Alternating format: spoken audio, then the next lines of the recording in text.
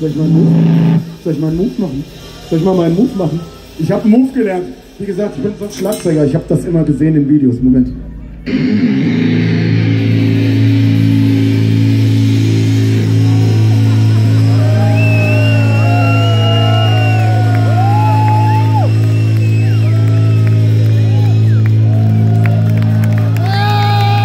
Das wollt ihr sehen, oder?